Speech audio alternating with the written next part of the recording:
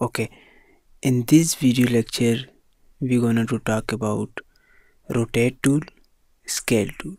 So for this purpose we will need to a rectangle. So i will draw rectangle. You can draw anything but basically now this is our basic uh, sections.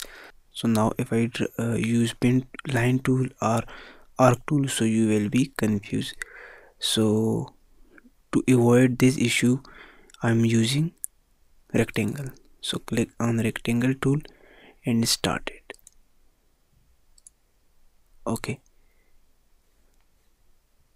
So now if I click on rotate tool okay rotate tool shortcut key is Q.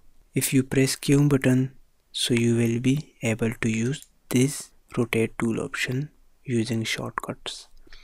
So now I will use this rotate tool on my this rectangle. So first of all I will select option I mean my mouse cursor option and I will select my this object. Now our object is selected. So now we can rotate it. Click on rotate tool. When you hover over this mouse on this place so it say from points. And uh, when we will move on this area so it's a from point. That's mean now this shape in 3d format in 3d view okay? So definitely you will need to move from this area from this area from this area but not from this area or not something like that. If you move this type of things so you can see your shape will be blah blah. You can use rotate tool option according to your drawing so now for example I want to rotate this rectangle.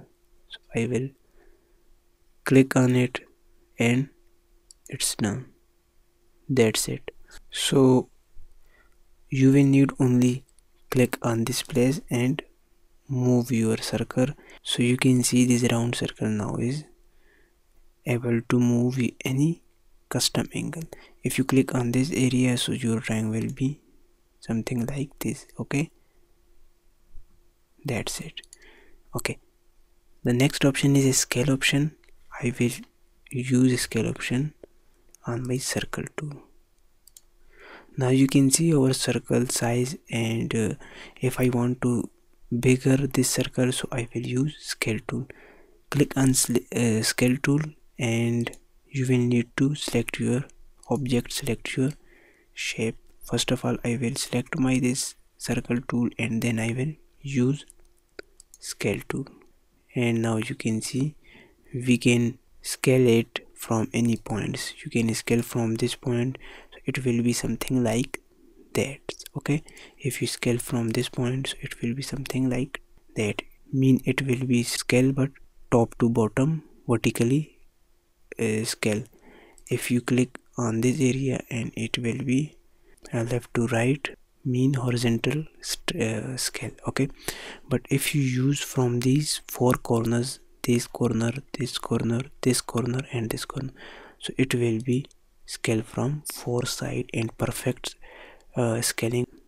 These two, two tools are very easy okay? So you should use it again and again so you will be understand and uh, you will know very well. If you think this is very hard and this is tough tools. So that means you are not able to watch my other tutorial. So you should first of all uh, follow my previous training for, uh, of google sketchup from basic. Okay? I mean from this tool to to this uh, scale option. And then continue these other tools lectures